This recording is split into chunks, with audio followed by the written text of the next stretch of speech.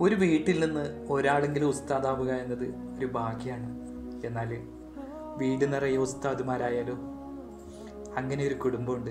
അങ്ങ് കർണാടക പുത്തൂർ ബാടകന്നൂർ മുണ്ടോൾ എന്ന ദിക്കിൽ. മുണ്ടോളിലെ സി എം മുഹമ്മദ് ആജി ആയിഷമ്മ ഹജ്ജുമ്മ എന്നിവരുടെ ആറ് ആൺമക്കളിൽ നാല് പേരും പെൺമക്കളുടെ ഭർത്താക്കന്മാരായ മൂന്ന് പേരും ഉസ്താദുമാരാണ്.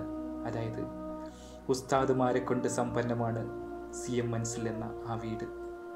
C M Abdulla Musliyar C M Ibrahim Kausari C M Abubakar Siddique Hashimi C M Farooq Hanifi എന്നീ പണ്ഡിതന്മാരുടെ വീട്ടിലേക്ക് അഷ്റഫ് സഹദി പെൺമള ഷാഫി ദാരിമി അജവാര സാദിഖ് ഹനീഫി കുംബ്ര എന്നിവർ മരുമക്കളായി കടന്നു വന്നപ്പോൾ ഇരുമി നിറഞ്ഞ വീടായി ആ വീട് മാറി.